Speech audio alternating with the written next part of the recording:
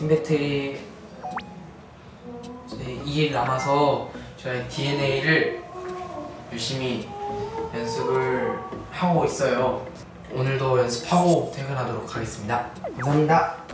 내일이 드디어 저희가 지금까지 해왔던 팀배틀 전날이죠. 네, 저랑 팀이 다르지만 그래도 열심히 응원하고 있습니다. 저도요. DNA 연습 열심히 하고 꼭 다 좋은 결과 있을 수 있도록 하겠습니다. 네.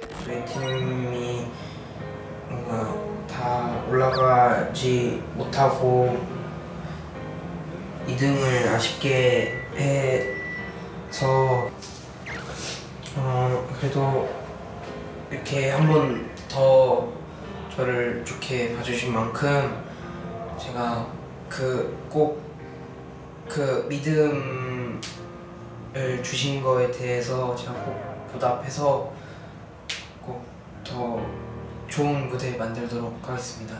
감사합니다. 오늘 파이널 미션을 받게 되었는데요. 뭔가 그래도 제가 자신 있는 거는 노래여서 노래를 선택하게 되었는데 어, 예담이 형과 준규 형이랑 같은 팀이 돼서 좋지만 이 기회에 좀 더 늘어간다는 생각으로 이번 무대를 해서 꼭 좋은 결과 만들도록 하겠습니다. 감사합니다. 저에게 한 번 더 기회를 주신 거잖아요. 맞죠? 저희 그렇죠.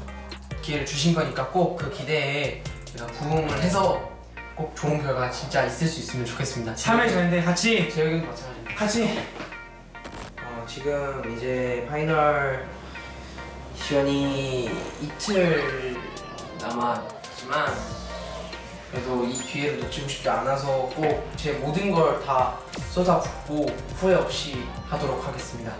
오늘 무슨 날이죠? 오늘 파이널 전날입니다.